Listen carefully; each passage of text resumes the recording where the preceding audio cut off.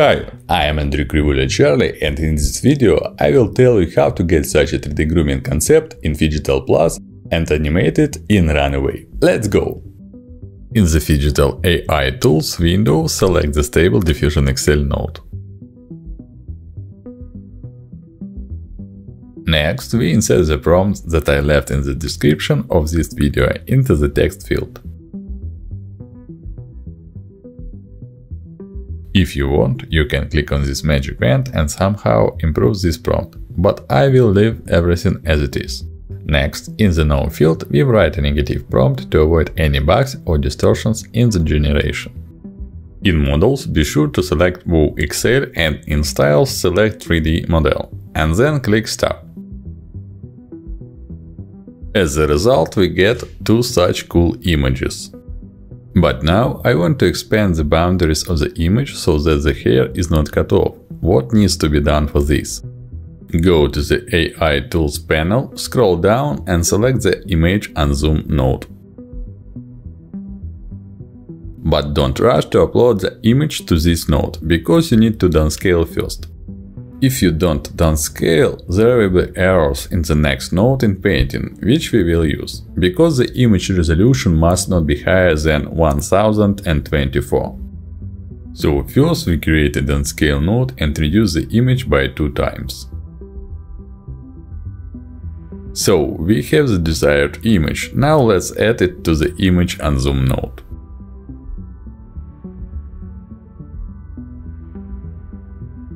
While zooming out, be sure to keep an eye on the final resolution parameter.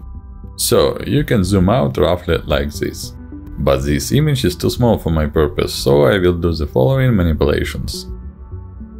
Now click the right mouse button, go to transform and create an inpainting node. Next we connect the resized mask slot to the mask and the resized image to the start image. After that, copy the same prompt into the inpainting text field.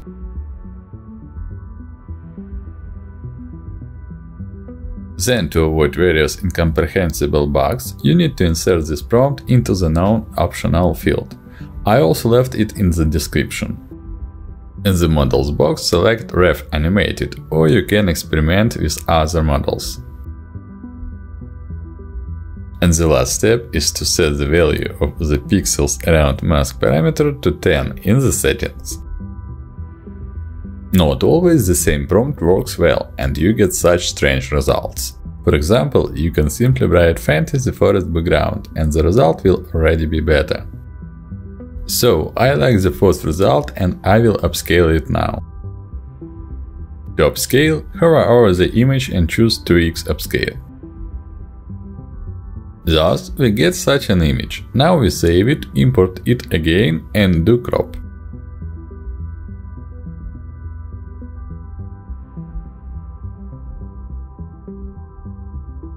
Great, the hair is not cropped and I like this result, I'm saving it. Now let's go to Runway and choose Gen 2.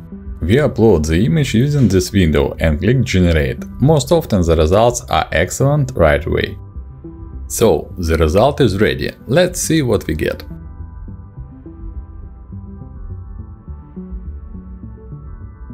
I like the result, but I also want to try a new tool, Motion Brush. After you have uploaded the image, you can click this button and go to the animation editing. So, using the first brush, I will paint the hair.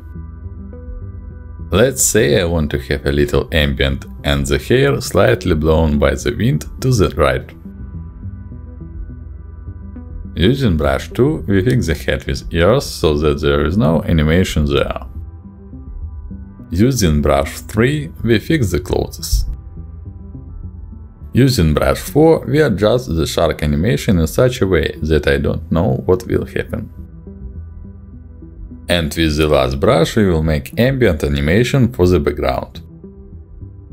After all manipulations, press the save button and then generate.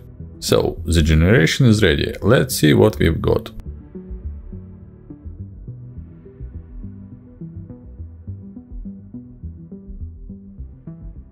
It's a pretty cool tool, but I like what I got in the first version better.